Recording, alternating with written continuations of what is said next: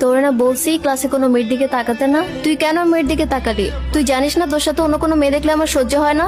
আচ্ছা ঠিক আছে বাবা এরপরে আমি কোনো মেয়ের দিকে তাকাবো না। এখন কলারটা তো ছাড়ো। তাহলে আমার মাথা ছুঁয়ে বলো। আচ্ছা ঠিক আছে আমি এরপরে কোনো মেয়ের দিকে তাকাবো না। কথাটা যেন মাথায় থাকে। আচ্ছা ঠিক আছে। সকালে খেয়ে এসেছিলে? না ঘুম থেকে উঠতে দেরি হয়ে গেছে তাই তাড়াতাড়ি চলে আসছি। আচ্ছা চলো তাহলে আমরা কিছুক্ষণ হেঁটে বাসে চলে যাই। চলো। আচ্ছা দোস্ত তোকে না অনেকদিন যাবত একটা কথা বলব ভাবতেছিলাম কিন্তু বলি নাই। হ্যাঁ তো বল। আমার না কয়েকদিন যাবত একটা মেয়ের সাথে কথা হইতেছে। ওর সাথে মেসেজে কথা বলতে বলতে আমাদের মধ্যে কীভাবে একটা প্রেম হয়ে গেছে। আগে বলিস নাই কেন আমাকে? কই মেয়ের ছবি দেখা? এই যে তোর ভাবি সুন্দর না? তোদের দুজনকে খুব ভালো মানাবে। আচ্ছা চল তাহলে ক্লাসে যাই। আচ্ছা দোস্ত তুই তাহলে বাসে চলে যা আমি একটু পর আসতেছি। কেন তুই যাবি না?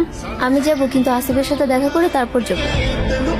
দুই দিন কোথায় ছিলে? তুমি স্কুলে আসলে না যে? ভালো লাগতেছিল না তাই স্কুলে যাইনি।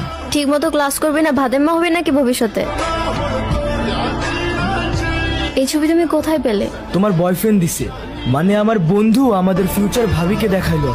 আমার বন্ধু জানতো না তুমি আমার গার্লফ্রেন্ড কিন্তু তুমি তো খুব ভালো করে জানতা। আবির আমার খুব ভালো একটা বন্ধু। কি প্রয়োজন ছিল আমাকে এভাবে ঠকানো একটু বোঝার চেষ্টা করো। আমি যে কীভাবে ইমপ্রেস হয়ে গেছি আমি নিজেও বুঝতে পারিনি। আমি আজকে থেকে ওর সাথে সব কথা বলে বন্ধ করে দেবো। আমাদের রিলেশনশিপটা এভাবে নষ্ট করে দিও না প্লিজ তোর মতো বেইমান আমি আমার লাইফে আর দ্বিতীয়বার আনতে চাই না। তুই আমার চোখের সামনে থেকে যা। প্লিজ এইবার আমার মাফ করে দাও। আমার না ঘৃণা করতেছে। তোর মতো মেয়েকে আমি ভালোবাসতাম।